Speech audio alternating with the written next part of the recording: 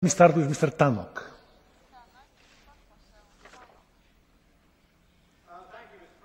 Um, as an mep representing london this is a subject very dear to the hearts of millions of my constituents. london is home to the world's busiest airport heathrow.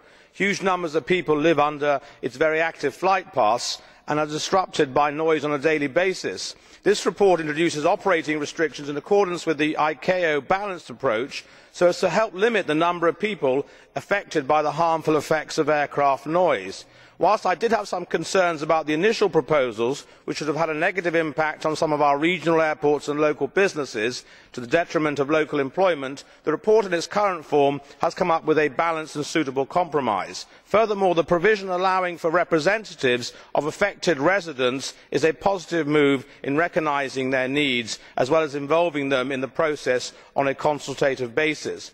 this aspect i believe has the potential to be used as a means of executing more constructive dialogue between airports and local residents something which my london constituents will be very pleased about. thank you.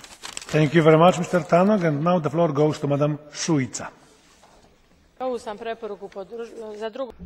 I support this proposal in the second uh, rule. These are standards uh, in uh, defining uh, constraints for uh, operating uh,